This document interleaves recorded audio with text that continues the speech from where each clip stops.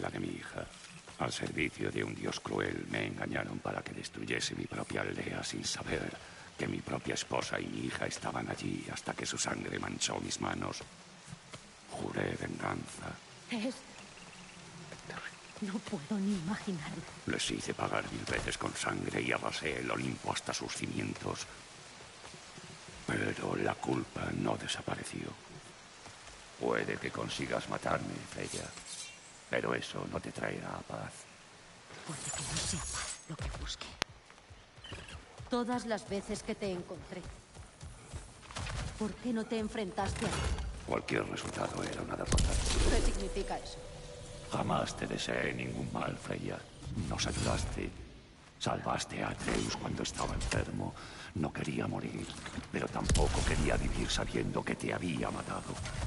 Entiendo.